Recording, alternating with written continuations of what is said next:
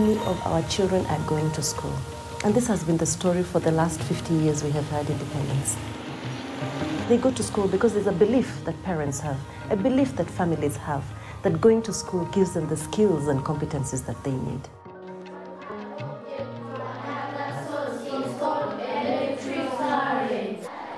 Was that, okay, if we build enough schools, if we have enough teachers, if we have enough teaching learning material in classrooms, then this fuzzy thing called learning will kind of happen. Focus has really just been on enrolling kids into school and making sure they attend and progress. It hasn't been on the other part, the plus learning. So we've really learned that um, we need both. We began to really feel this invisible problem, which was the fact that children are in school, attending fairly regularly, but really not at the level that they need to be. So I would say that we have a learning crisis. But it was very hard to make that case and get policymakers to pay attention because we didn't have data, we didn't have evidence.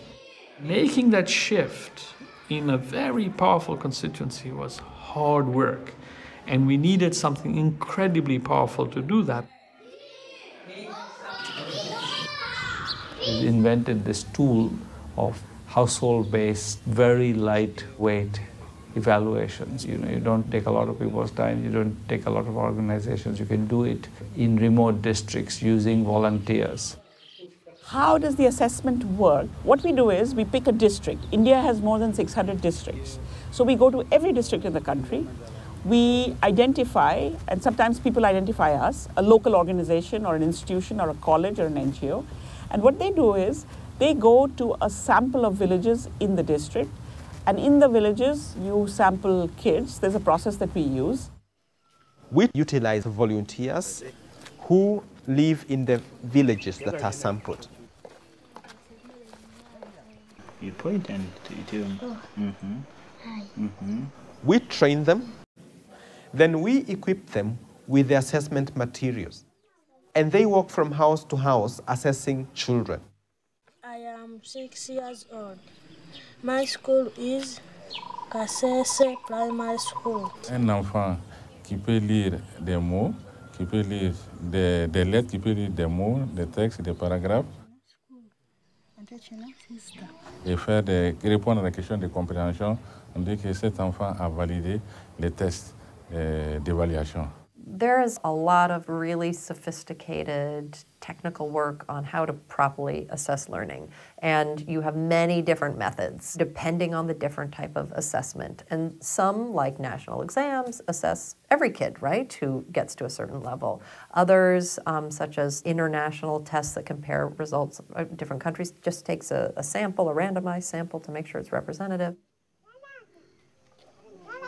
When you go into a household, you're testing all kids. You're not just testing the kids who happen to be in school on that particular day.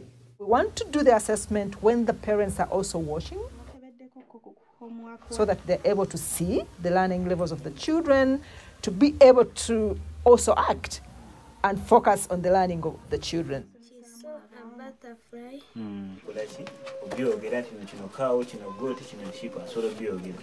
Obyogera kino kino kaawo kino gooti kino kipa asobola obyogera onamutesitinze nga byonna yakoze eki yabisobodde mu luzungu nagenza mujja awangungu The thing um, that I think not many people necessarily know is what a broad scale it's done under.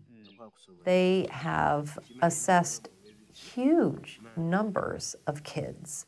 Like the case of Kenya, every year we go to over 90,000 households and we assess more than 150,000 children.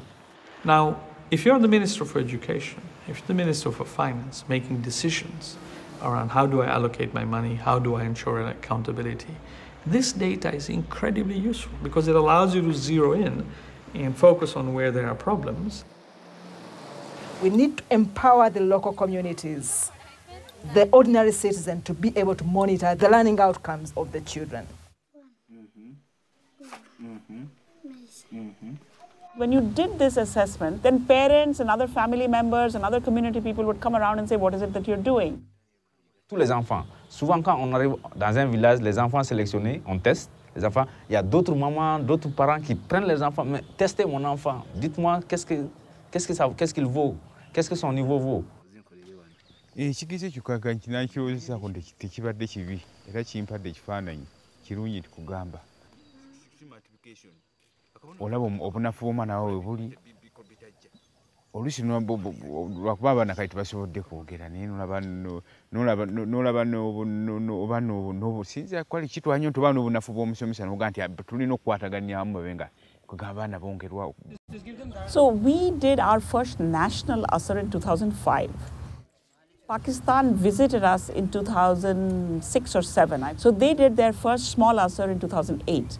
It's roughly the same time that the East African countries came, and they came in several different waves around the same time.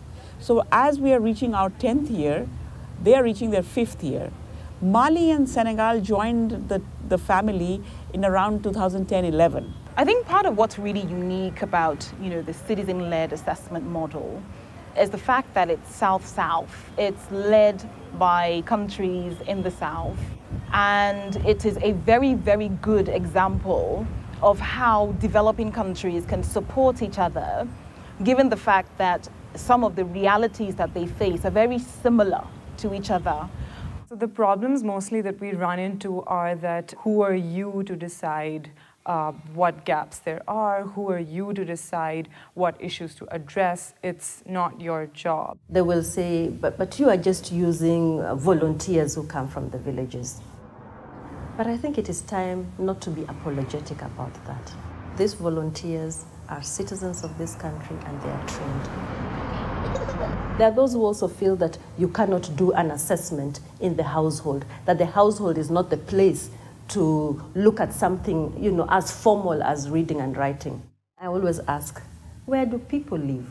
We don't live in institutions like we live in the society, we live in our homes. When you measure year after year and you don't see big progress, then people begin to get a little disheartened. And often people will say, What's the point of measuring if it doesn't lead to change? To which we counter by saying, If somebody is sick, and you're struggling to find the medicine, do we stop taking their temperature? You know, you kind of need to keep doing that. And at the same time, figuring out how you can bring about a change in the condition. When the ASER numbers started coming out from India, it was very eye opening, and you could have a conversation about learning outcomes in India, across India, uh, in a way that you just couldn't before. Is this a governance question? Is it an accountability question? Is it a transparency question? And these are all big words and they probably mean a lot to many people. But I think it's a very straightforward thing that you can't begin to be part of the solution until you understand the problem. Bringing learning to the fore, right? Having debates about it and having conversations about it and having the media involved in it creates a lot of pressure on the government itself. These citizen led assessments have, have really affected the conversation about what it means to measure the quality of education, the objectives of education, and, and ultimately what, what, what an education system is, is producing. You can see now that there's a shift from inputs, being proud of the number of children who are enrolled in school, to focusing on the right thing, whether the children are learning. If you don't focus on the early levels of learning, then you are giving children a shaky foundation. If they can't read, they can't count, how are we going to talk about analytical skills, uh, critical thinking, all those other life skills they're supposed to acquire? Donc ça, ce n'est plus un tabou pour personne, que ce soit le gouvernement, que ce soit les, les citoyens ordinaires. Avant, les communautés au Mali, surtout les parents d'élèves, ne pensaient pas qu'ils avaient un rôle à jouer dans l'éducation. Pour eux, l'éducation, c'était l'affaire des décideurs, c'était l'affaire du gouvernement. Policymakers can participate by also looking at reality. Having a policy framework, having curriculum frameworks that cannot be implemented mean there's nothing wrong with our kids or perhaps with our families or teachers. It's what we are expecting from them. At policy level, uh, there is now increasing acceptance that learning is a huge problem. There are the government's policy documents which talk about uh, learning outcomes. The Planning Commission's 12th five-year plan document uh, talks about uh, learning outcomes and talks about articulating goals in terms of uh, uh, learning outcomes. For the next five years, focusing on reading is a key investment program for the ministry in Kenya.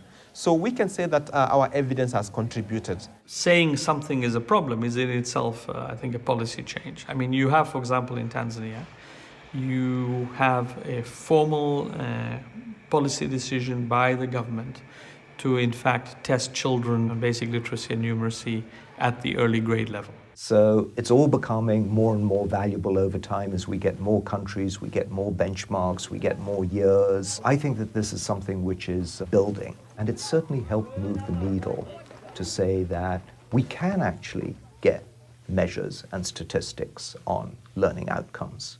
And today, we, I think the different efforts in the different countries together reach more than a million children a year. And it's really amazing how simple things can go really far.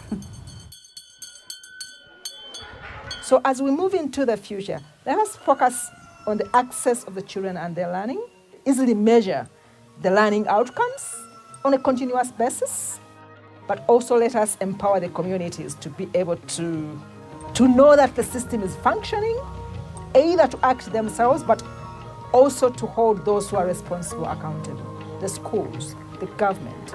If they don't have the information and understanding of how the system is functioning, they won't be able to demand what they deserve. And what they deserve is quality education of their children.